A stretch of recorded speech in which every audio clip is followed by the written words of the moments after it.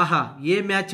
గెలుపోటముల సంగతి పక్కన పెడితే sun risers Hyderabad Kolkata knight riders మధ్య జరిగిన మ్యాచ్ అసలైన టీ ట్వంటీ మజా అందించింది. మ్యాచ్ నాటకీయ మలుపులు తిరుగుతూ చివరి బంతి వరకు గెలుపు నువ్వా నేనా అన్నట్లుగా సాగింది. అత్యంత ఉత్కంఠభరితంగా జరిగిన ఈ మ్యాచ్లో సన్ రైజర్స్ నాలుగు పరుగుల తేడాతో ఓడిపోయింది. ఓడిపోతున్న మ్యాచ్ను క్లాసన్ భారీ సిక్సర్లతో విరుచుకుబడి మ్యాచ్ను రసవతరంగా మార్చేశాడు. ఇరవై తొమ్మిది బంతుల్లో ఎనిమిది సిక్సర్లతో అరవై మూడు పరుగులు చేసి చివర్లో అవుట్ అయ్యాడు క్లాసన్కు తోడు షాబాజ్ అహ్మద్ చివర్లో మెరుపులు మెరిపించడంతో మ్యాచ్ చివరి బంతి వరకు ఉత్కంఠభరితంగా సాగింది. అయితే చివరి ఓవర్లో పదమూడు పరుగులు కావాల్సిన దశలో తొలి బంతికి క్లాసన్ సిక్సర్ కొట్టడంతో మ్యాచ్ సన్ అనుకున్నారు. అయితే కేకేఆర్ బౌలర్ హర్షిత్ రాణా ఒత్తిడిని తట్టుకొని అద్భుతంగా బౌలింగ్ చేసి కేకేఆర్కు నాలుగు పరుగుల విజయాన్ని అందించాడు. ఓపెనర్లు మయాంక్ అగర్వాల్ అభిషేక్ శర్మ పవర్ ప్లేలో దూకుడు గాడి తొలి వికెట్కు అరవై పరుగులు జోడించారు. మెరుపు ఆరంభాన్ని ఇచ్చారు. అయితే ఆ తర్వాత వచ్చిన త్రిపాఠి మార్క్రమ్ బ్యాట్ జులిపించడంలో విఫలమయ్యారు. దీంతో మధ్య ఓవర్లలో స్కోరు వేగం నెమ్మదించింది. చివరిలో క్లాసెన్ సిక్సర్లతో హోరెత్తించిన